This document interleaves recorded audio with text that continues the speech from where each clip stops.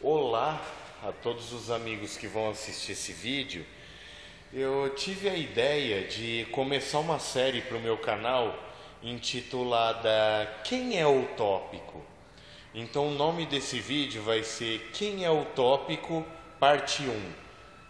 É o seguinte, é, de vez em quando é, eu escuto de algumas pessoas que têm ideias diferentes que a anarquia é utópica.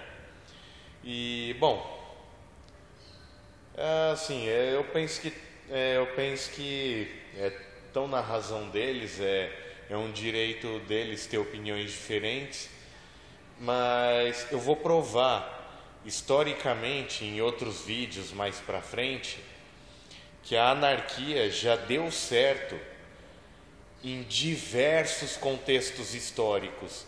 Já deu certo no México, já deu certo na Espanha, está dando certo até hoje na Dinamarca. Só que nesse vídeo, é, nessa série de vídeos Quem é o Tópico, eu vou fazer uma coisinha diferente. Eu vou eu vou aproveitar e dar umas alfinetadas é, na, nas pessoas que curtem outras ideias, umas alfinetadas assim bem sarcásticas, é, para mostrar o seguinte, que, que essas pessoas que falam que a anarquia é utópica, meu, esses sim é que, é que são utópicos. E eu já quero, já quero começar mostrando o seguinte. Ó, esse prédio aqui, ó, esse prédio que vocês estão vendo aqui é um prédio da Unifesp Campus Diadema. É, Para quem não sabe, eu postei um outro vídeo nesse, nesse mesmo canal, assistam. O nome do vídeo chama é, Obra Parada na Unifesp. Eu vou deixar o link na descrição. O que acontece? Eu estou filmando para vocês isso aqui, direto da, da Unifesp, cuja sigla quer dizer Universidade Federal de São Paulo.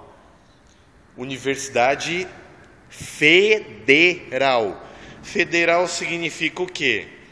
Que quem tinha obrigação de não deixar essa obra aqui parada é a dona Dilma. Então, esse primeiro vídeo eu quero que sirva de alfinetada já para os petistas que, que vão assistir esse vídeo, para eu fazer uma pergunta a você. Primeiramente a você, petista, depois eu vou trabalhar com pessoas que curtem outras ideias. Mas a você, petista, eu te mostro essa obra parada aqui de uma universidade federal que a dona Dilma deixou essa obra parada e ainda queria inaugurar o queria inaugurar esse espaço do campus com essa obra parada aqui por terminar e que ainda por cima no começo desse ano a dona Dilma ela cortou verba de educação então eu já quero deixar essa pergunta no ar para você que vota na Dilma, que vai votar é, em outro presidente do PT daqui quatro anos. É, a minha pergunta é bem simples: quem é utópico mesmo? Quer dizer, você vem falar que a anarquia é utópica, mas o teu governo do PT é, não, não te parece utópico? É, isso que você está vendo, essa obra parada aqui na Unifesp, sem contar o outro vídeo que eu vou deixar na descrição do canal, vou deixar mais outros vídeos mostrando que a torneira da Unifesp a água sai amarela, é,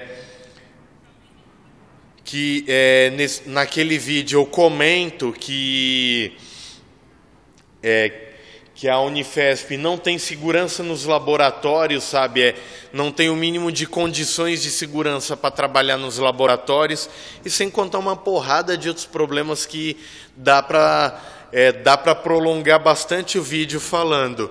Mas e aí? Tem uma obra parada aqui.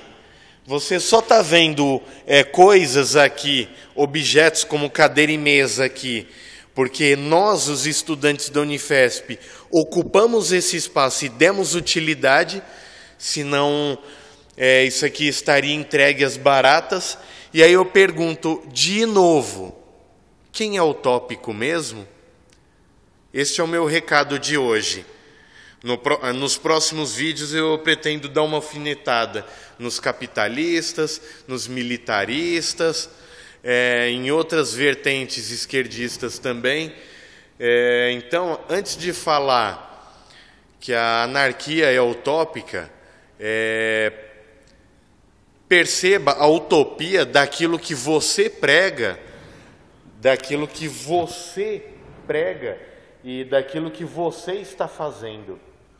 Este é o meu recado. O vídeo ficou mais longo do que eu gostaria, mas faz parte. A quem gostou do vídeo, não deixe de é, não deixe de seguir a página e o canal Desconstruindo Ideias. Eu vou deixar o link na descrição, beleza? A gente se vê por aí.